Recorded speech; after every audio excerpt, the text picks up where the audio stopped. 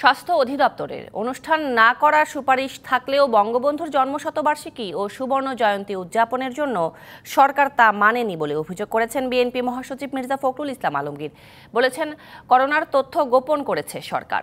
মঙ্গলবার বিকেলে গুলশানে বিএনপির চেয়ারপারসনের কার্যালয়ে সংবাদ সম্মেলন করে এ অভিযোগ করেন তিনি। ভারতের প্রধানমন্ত্রী নরেন্দ্র মোদীর আগমনের প্রতিবাদে হেফাজতে ইসলামের শান্তিপূর্ণ প্রতিবাদ কর্মসূচিতে সরকার দলীয় ও আইন শৃঙ্খলা বাহিনী হামলা চালিয়েছে বলে অভিযোগ করেন তিনি।